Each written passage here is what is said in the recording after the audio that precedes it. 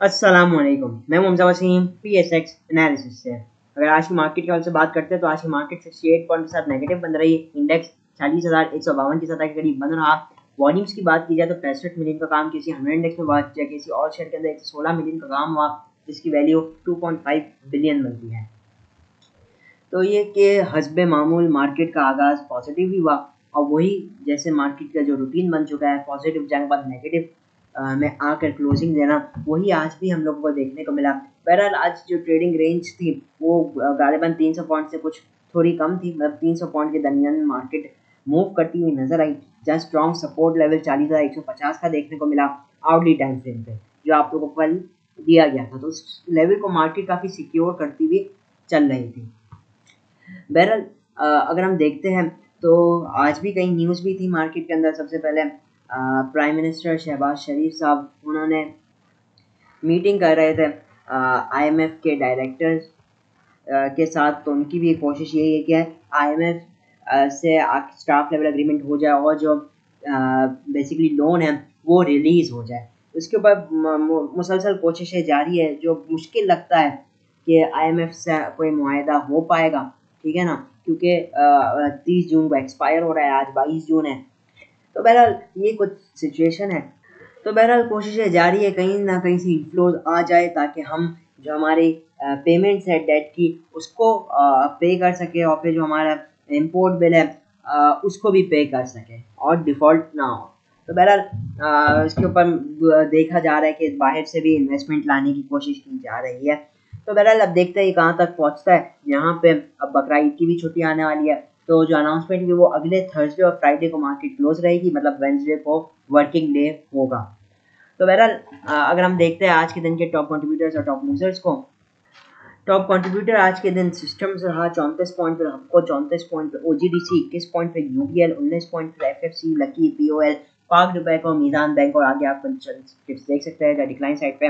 Lotte chemical Colgate T R G P S O Thal Nestle Engro Pioneer H C B P L P O M L H car packages N M L J L I C L और ये कुछ transcript हो जाते हैं। जहाँ top active stocks की अगर बात की जाए तो टॉप एक्टिव में कि इलेक्ट्रिक ग्यारह पैसे पॉजिटिव रहा। इसके हवाले से बेसिकली न्यूज़ का इम्पैक्ट था जिसकी वजह से ये आ, इसके अंदर एक गेंद देखने को मिला। सत्ताईस मिनट का काम हुआ फिर डब्ल्यू टी एल एक पैसे नेगेटिव रहा पच्चीस मिनट का काम हुआ फिर बी ओ पी है बी ओ पी बत्तीस का काम हुआ नोकिन के साथ बन रहा है सोनेरी बैंक दो पैसे प्लस टी आर जी एक रुपये चवालीस पैसे नेगेटिव जहाँ शेल एक रुपये सत्तावन पैसे negative F C C L अठारह पैसे पॉजिटिव सिनर्जी दो रुपये छियासी पैसे पे बंद रहा जहाँ पी पी एल चालीस पैसे नेगेटिव और एच बी एल पच्चीस पैसे नेगेटिव बंद रहा। टॉप एडवांसेज के अंदर लिक्विड स्टॉक्स है जो कि इलेक्ट्रिक हो जाता है और फिर सेरेटो स्पिनिंग मिल्स हो जाता है। फिर टॉप डिक्लाइन साइड पर अगर हम देखते हैं तो मोस्टली इलिक्विड है। सबसे पहले अलमाली मुदारबा का हो जाता है राइट शेयर उसके बाद H B L investment fund P I C T मुसलसल लोअर कैप के पास है ए जी एल एग्रीटेक, इसके अंदर भी कुछ वॉल्यूम के साथ सेलिंग देखने को मिली है। बहरहाल ये इतनी ज़्यादा भी नहीं है, लेकिन कुछ तो वॉल्यूम्स लगे हैं। अच्छा जहाँ अगर हम बात करते हैं इंटरनेशनल मार्केट में सबसे पहले कमोडिटीज़ को तो क्रूड ऑयल इस वक्त ट्रेड कर रहा है तकरीबन seventy one dollar fourteen cent के पास one dollar thirty nine cent negative है। जब गोल्ड के अंदर मुसलसल गिरावट देख रहे हैं, आज भी नौ डॉलर पच्चीस सेंट नेगेटिव है, उन्नीस सौ पैंतीस डॉलर पर ट्राई आउंस के पास या बॉम्बे स्टॉक एक्सचेंज आज दो सौ चौरासी पॉइंट नेगेटिव रही और यूरोपियन मार्केट्स को देखें तो मोस्टली नेगेटिव एक्टिविटीज़ देखने को मिल रही like from one two one percent से ज़्यादा उधर भी नेगेटिविटी देखने को मिल रही है। एनीवेज तो ये तो कुछ आज की मार्केट के से हो गया। अगर मैं बात करता हूँ डॉलर के हवाले से तो इंटर बैंक में डॉलर तो डॉलर की barrel closing two eighty six point seven three पर रही। मुसलसल हम गिरावट देख रहे हैं। आज में इंटर बैंक में डॉलर की क्लोजिंग तकरीबन आपकी कह रही छब्बीस पच्चीस पैसे नीचे आई आज भी पच्चीस पैसे की गिरावट देखने को मिली है डॉलर के अंदर। तो ये एक अच्छी चीज़ है। तो बहरहाल ये तो कुछ हो गया। आज की मार्केट के हवाले से अब चलते हैं टेक्निकल चार्ट तो देखते हैं टेक्निकली मार्केट के अंदर कैसी मूवमेंट आ सकती है। तो बहरहाल, इस वक्त मैं मौजूद हूँ के एस हंड्रेड इंडेक्स के डेली चार्ट पे। अगर आप डेली चार्ट पे ज़रा नज़र दोहराएँगे तो एक पैटर्न मार्केट मुसलसल फॉलो कर रही है। अगर आप इस पर ज़रा नज़र दोहराते हैं कि जैसे मैं अगर बात करूँ, तेरह जून को मार्केट तकरीबन two two fifty one point negative रही, अगली कैंडल डॉजी बनाई, फिर उसके बाद नेगेटिव बन रही, फिर एक डॉजी कैंडल बनाई, फिर एक नेगेटिव बिग रेड कैंडल फिर एक डॉजी फिर एक रेड कैंडल और आज फिर एक डॉजी बन रही है मार्केट मतलब बहुत ज़्यादा ना ही गेन ना ही बहुत ज़्यादा लॉस के साथ मार्केट बन रही।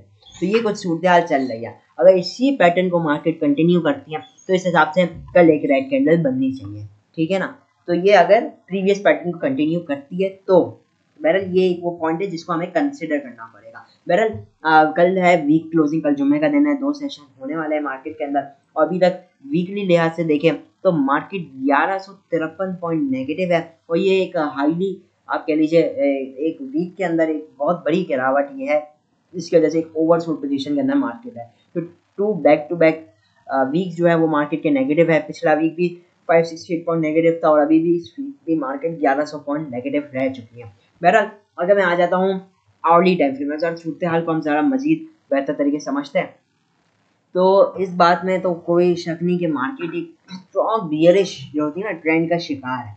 यही वजह कि हम अटेम्प्ट तो देखते हैं मार्केट की रिकवरी की, लेकिन वो ज़्यादा लॉन्ग लास्टिंग नहीं होती। मार्केट ऊपर जाती है और जहाँ एक रेड कैंडल बनाती है मार्केट के अंदर गिरावट शुरू हो जाती है। तो इसी चीज़ को हमें भी देखना चाहिए। मतलब क्या, जैसे मैं कई दिन से कह रहा हूँ, कई रोज से, कि इस वक्त मार्केट के अंदर काम करना है तो आप इंट्राडे में काम करें, जहाँ आपको बेच का काम करना ज़रूरी है। इस वक्त माल लेकर बैठने वाली सूरत है ही नहीं, ठीक है ना? आए दिन मार्केट न्यू लोज बनाती हुई दिखाई दे रही है। आज भी मार्केट ने न्यू लोज ही दिए हैं। ठीक है ना? अब अब आप जैसे वही देखें कि आर अभी भी एक ओवरसोल्ड पोजीशन पे है। मैंने इसके, उनसे दो दिन पहले भी डिस्कस किया था कि ओवरसोल्ड का मतलब ये नहीं होता कि यहाँ से मार्केट एक, के अंदर एक बहुत बड़ी तेज़ी आने वाली है। इसका मतलब ये होता है कि अगर मार्केट यहाँ से कोई ब्रेकआउट दे, ठीक है ना? तो फिर आपने एक एंट्री लेनी है। अभी सूरत हाल को अगर हम देखते हैं तो अगर हसबे मामूल जैसे मार्केट में मैंने कहा शुरू में भी कि रोज़ पॉजिटिव खुलती है, फिर नेगेटिव हो जाती है। इस हिसाब से भी कल के दिन भी अगर मार्केट पॉजिटिव खुलती है, जिसके एक चांसेस है, क्योंकि मार्केट इसी ट्रेंड को फॉलो कर रही है तो मार्केट का पहला resistance level hourly time frame में जो रहेगा वो रहेगा 320 से लेकर 350 का लेवल याद होगा, यही लेवल मैंने कल दिया था, और मार्केट ने इस लेवल को एक बहुत ही अच्छी तरीके से इंपॉर्टेंस दी थी. तो ये तकरीबन चालीस हज़ार तीन सौ पचास का लेवल समझ लीजिए. ये मार्केट का कल के दिन के लिए इमीडिएट रेजिस्टेंस लेवल रहेगा. ठीक है ना? अगर कल के दिन मार्केट पॉजिटिव खुलती है तो मार्केट का पहला जो हर्डर रहेगा, वो 350 का लेवल रहेगा। तो चालीस हज़ार तीन सौ से 350 मार्केट का कल के दिन के लिए इमीडिएट रेजिस्टेंस लेवल रह सकता है। जब अगला रेजिस्टेंस लेवल जो है मार्केट का चालीस पाँच सौ के पास है, और उसके बाद का लेवल चालीस सात सौ के पास है। तो ये सब मार्केट के रेजिस्टेंस लेवल है, जो कि फिबोनाची और प्राइस एक्शन के थ्रू डिराइव किए गए हैं। ठीक है? तो ये लेवल है। तो कल के दिन अगर मार्केट बढ़ती है, और अगर इनमें से किसी भी लेवल पे कोई सा भी रेजिस्टेंस लेवल हो चाहे वो फिर चालीस हज़ार, तीन सौ, पचास हो या चालीस, पाँच सौ या चालीस, सात सौ, जहाँ तक मार्केट जाती है।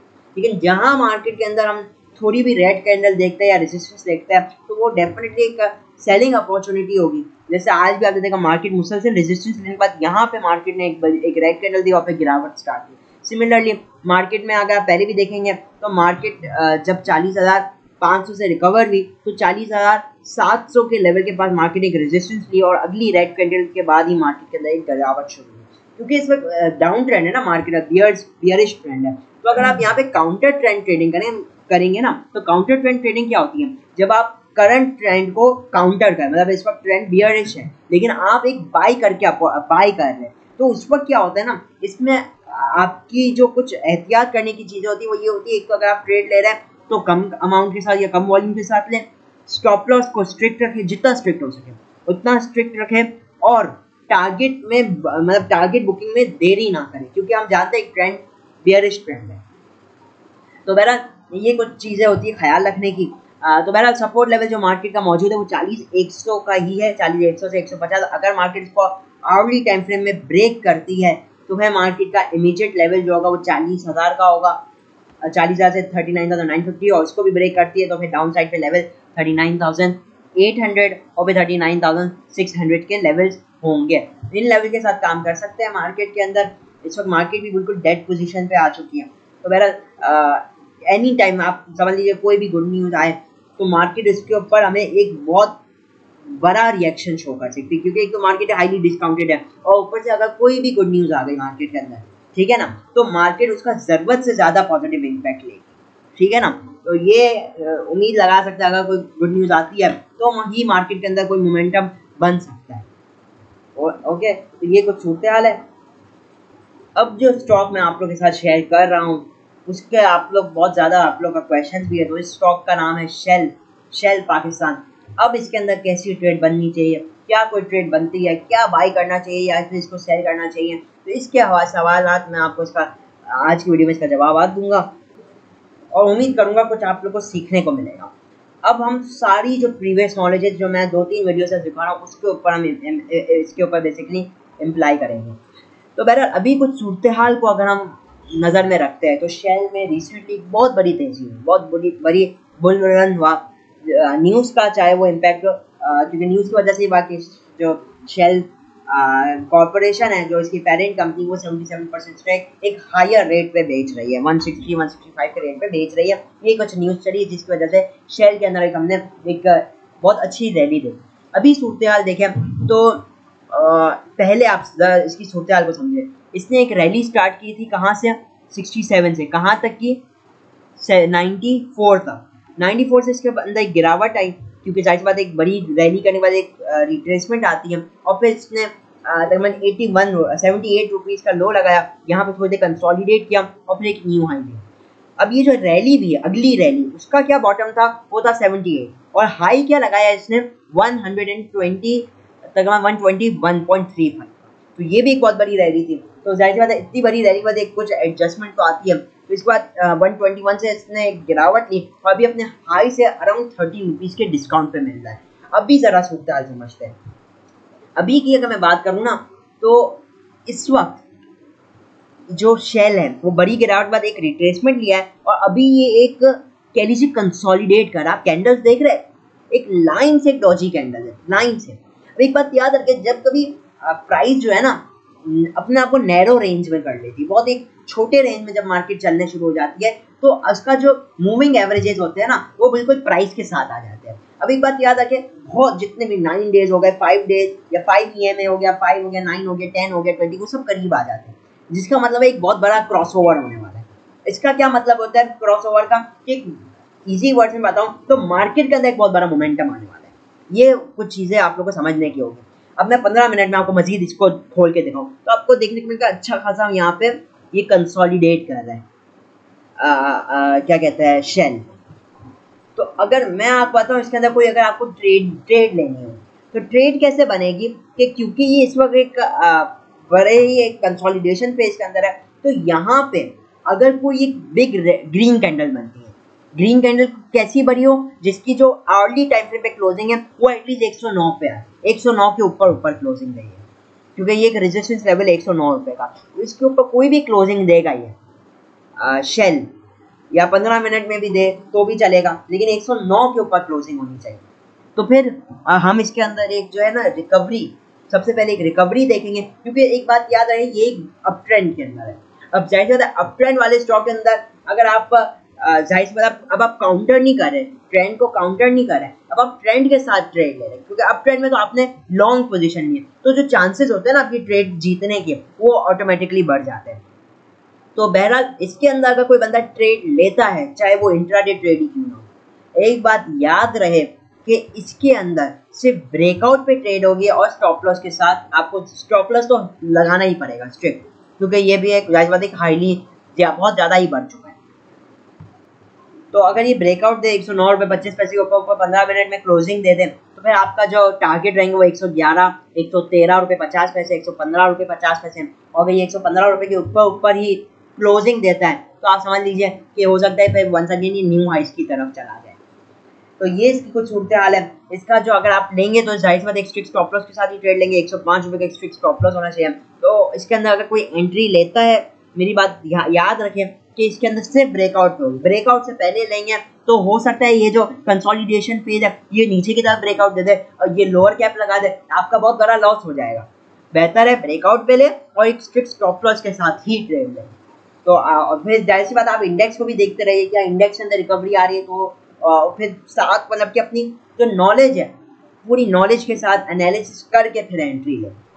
तो आपको तो मैंने इसकी पूरी सूरत समझा दी। और इस सूरत हाल में इसके अंदर एक एंट्री मिल सकती है अगर ये एक अच्छी ऑनली कैंडल क्लोज करेगा तो। ठीक है ना? तो अक्सर अगर हमने देखा पे ये अच्छी ट्रेड ऐसे जो इस जिस पोजीशन पे इस पोजीशन पे अच्छी ट्रेड्स मिलने के इम्कान बढ़ जाते हैं। और एक और बात याद है अगर ये मान लीजिए कल के दिन ब्रेकआउट कहीं भी ना देना ऊपर दे ना नीचे दे तो फिर आ, ये एक सेंसेबल बात है एक ऑब्वियस बात है कि कोई ट्रेड बनेगी तो जब भी ये दे ब्रेकआउट जिस तरफ़ भी दे, हम इसके अंदर एक एंट्री देख सकेंगे। बहरहाल, मैं आपको लो साइड के लेवल भी दे देता हूँ कि अगर ये 105 तोड़ेगा तो फिर इसके क्या सपोर्ट लेवल जाएँगे। तो बहरहाल, मैं आपको बता दूँ, इसके पास डाउन साइड में बहुत कोई स्ट्रॉन्ग सपोर्ट लेवल नहीं है। जो सिर्फ़ स्ट्रॉन्ग सपोर्ट लेवल है 105 का, ये तोड़ेगा तो 100 और फिर 95 तो डाउन साइड में कोई स्ट्रॉन्ग सपोर्ट लेवल मौजूद नहीं है। जो मौजूद है, वो आपके सामने 105 100 और 94.5 से 95 का लेवल तो बहरहाल ये पूरी मैंने आपको एनालिसिस करके दे दी। आपको ट्रेडिंग की टेक्निक सिखा मेरी कोशिश है कि थोड़ी थोड़ी ट्रेडिंग के टिप्स भी दो ट्रेडिंग की टेक्निक भी दूँ जिससे ऑटोमेटिकली अगर कोई बंदा लॉस में तो अपने आप को प्रॉफिट में कर ले। ठीक है ना? अच्छे रेट पे निकलना आप लोग को आए अच्छे रेट पे एंट्री लेना आपको समझ में आए। तो ठीक है ना? तो रिस्क और रिवॉर्ड को हमेशा मैनेज ही करके चलना चाहिए। कोई एक चीज़ अगर आप नहीं मैनेज करेंगे तो डेफिनेटली आपके आ, जो ट्रेडिंग शीट है उस पर एक बहुत बुरा इम्पैक्ट आ सकता है। तो बहरहाल, इसी के साथ इजाज़त चाहता हूँ। वीडियो अच्छी लगी हो तो लाइक और चैनल को ज़रूर सब्सक्राइब कीजिएगा। मैं हूँ Hamza Waseem P S X analysis से।